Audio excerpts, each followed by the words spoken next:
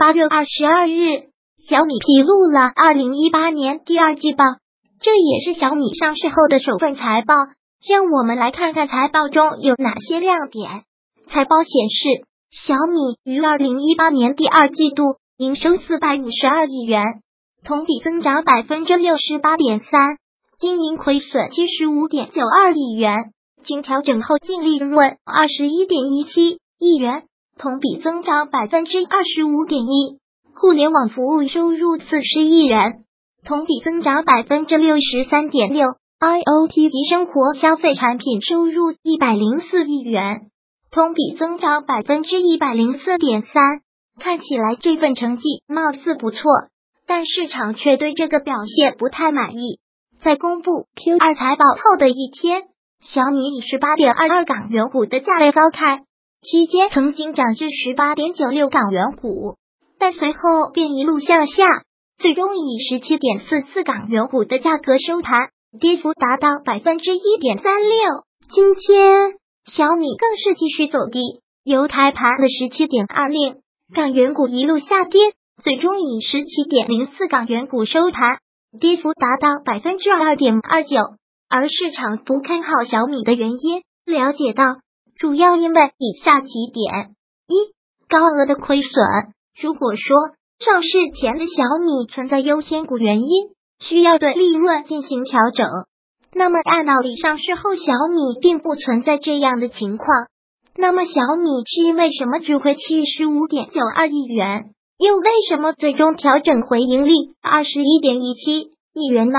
曾在雷军总开着推土机来割韭菜了，八成营收来自手机，估值高达一百三十倍。写道：小米在上市前曾给雷军九十九亿元的股权激励。而这笔激励正是让小米 Q 二季度亏损的主要原因。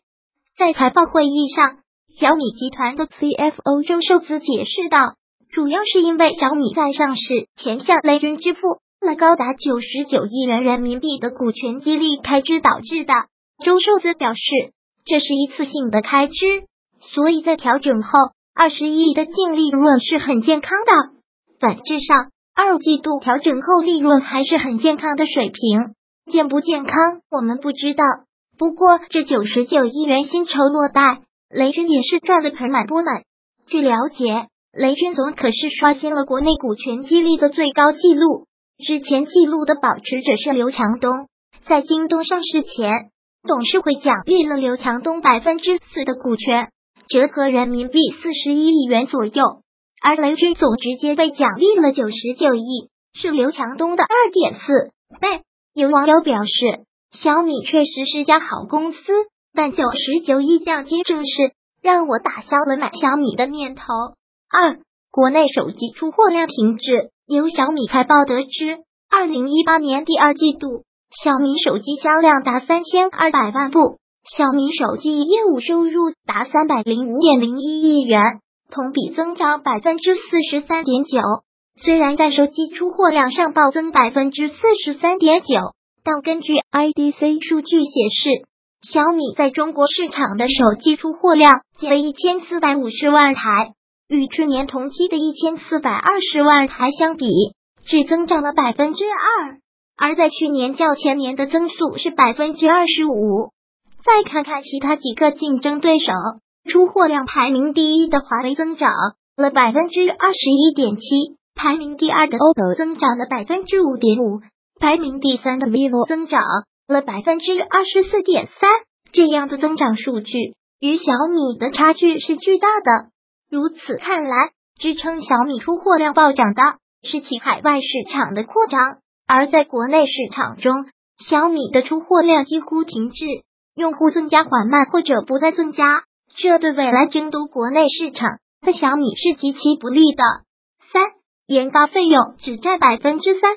财报显示，小米智能手机销售成本由二零一七年第二季度的一百七十五亿元，增加百分之六十二点二至二零一八年第二季度的二百八十五亿元，占收入高达非常惊人的百分之六十三。而在研发上，小米今年第二季度的研发费用近为十三点六四亿元人民币，只占到区区的百分之三。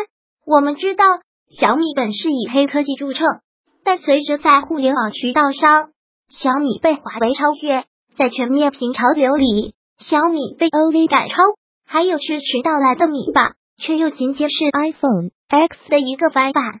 再转过头看看 OV，都已经开始使用屏下指纹和伸缩摄像头了，百分之六十三的销售成本，仅仅百分之三的研发费用，不知道小米为发烧而生的初心是否早已不知所踪？未来失去黑科技的小米还剩下什么？或许只能留下一台廉价的手机了。如果喜欢本视频，请分享并订阅本频道，别忘了按赞哦！